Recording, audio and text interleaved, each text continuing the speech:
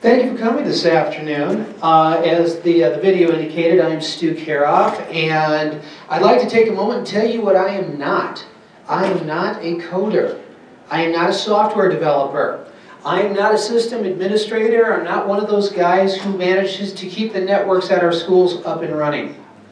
I'm a teacher. More specifically, I am the technology coordinator at our school, and I get to work with an amazing group of kids that have made some really cool things happen, and we're going to be sharing that with you today. The Asian Penguins start every club meeting with a call and response. The meeting leader, always a kid, will stand up and ask the other kids, what are we trying to do? To which the kids respond, change the world. Then the meeting leader asks, how do you change the world? To which the kids respond, be crazy enough to think you can. What are the Asian Penguins? Are they a computer club? Well, yes. Are they a tech support group that provides support for some of the computers in our building? Partly, yes. Are they something cute that our communications guys occasionally put on the Facebook page? Oh yeah, we, we do that too. And, but are they a force for change that works to improve people's lives through the power of open source software? Most definitely yes. In short, the Asian Penguins are a Linux users group. Well, how did all this start? Back in 2011, I was a new teacher at Community School of Excellence, and our school had just started its one-to-one -one laptop program. And it wasn't long before we discovered what so many schools had discovered before us. Middle schoolers break laptops. Lots of them. And to overcome the shortage of laptops that I was running into in my room, I applied for and got a hardware grant from a great nonprofit in Minneapolis called Free Geek Twin Cities. Among other things, Free Geek works to close the digital divide by recycling computers using Linux as the operating system. Why Linux? Because Linux is a free open source operating system, which means that it is free of cost and is free of restrictions. So they're able to use it on as many computers as they want. That helps to keep costs down. Well, I now had four Linux desktop PCs in my room, and it wasn't too long before the kids really started to get into using them. They loved how Linux was fast, it was eye-catching, it was different, and it uh, helped them get their schoolwork done even though they had destroyed their school computer. A group of these kids started to congregate in my room in the afternoons after school just to use the computers while they were waiting for the after-school program to start. I thought it would be fun to start teaching them how this hardware and software worked. So I started conducting lessons with them. Ultimately, moving on to having the kids learn how to install the operating system itself. I thought such a group ought to have a name. It seemed like a club was forming. I suggested to the kids Asian penguins. After all, the kids were Asian, and the mascot of Linux was a penguin. So we put those two things together. The kids all liked it, and we've used that name ever since. And that's the first group of penguins there from, uh, from 2012. Those kids are all in high school now.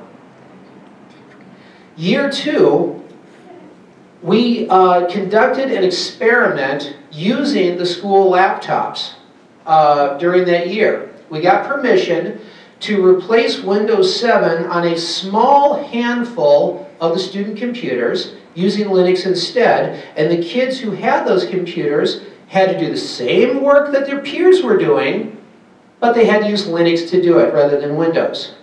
Those kids would periodically report how the experiment was going for them, and at the end of the year, we surveyed those students to see what they thought. And the results weren't even close. The kids who took part in the experiment overwhelmingly preferred using Linux to Windows for speed, look and feel, and general stability. Now, while our school still mostly uses Windows, I can proudly say that as a result of this experiment and other things like it, Our technology plan at our school states that we are one school with three platforms, Windows, iOS, and Linux. But why use Linux at all? Well, there's a few reasons. First off, it's free. Show me a school that doesn't struggle with resources. If you can get something free, maybe you should consider using it, and that includes software. Second, while our school is using Linux, most schools in the United States are not. If you want to stand out, don't do what everyone else is doing. We're giving our students at CSC a unique educational technology experience that they will not get at any other school. And we've checked. CSC is the only Linux users group, or I'm sorry, CSC is the only Hmong school in the world that has a Linux users group as a student club. Our kids are getting to do something special, and they benefit from that. But another reason for using Linux at school is while schools are not using a lot of Linux, it seems everybody else is. Linux runs the servers that run the internet. It runs the cloud, embedded devices, stock exchanges. More and more things are using Linux all the time. And according to the 2016 DICE, uh, DICE slash Linux Foundation jobs report, when they surveyed Fortune 500 companies, small and medium-sized businesses, government agencies, and nonprofits, what is your number one hiring need for the next six months for IT? 65% of them said we need more people who know open source, and that would include Linux. 65%. What are schools doing about it? We say we're trying to prepare students for the future. It doesn't look like we're preparing them for the present. But that's a discussion for another time. Let's talk about what happened next. The kids in our club started to look at their peers at our school and noticing their own digital divide. And at that time, CSE had a student population, about 30% of them did not have computers in their homes. Number one reason was cost. For a new-to-country family just fresh out of the refugee camp in Thailand, that brand new computer on sale at Best Buy might as well be on the moon. It's just not going to happen. Cost was a big deal. And our kids started to say, if Free Geek can do something about it, maybe we can too. So we got some used computers, the kids installed Linux on them, and we found some families to help. The first family was a Karenni family of eight, who at that point had been in the United States not even two months yet. They, the family welcomed us into their home, the kids set up the computer for them and then explained how to use it.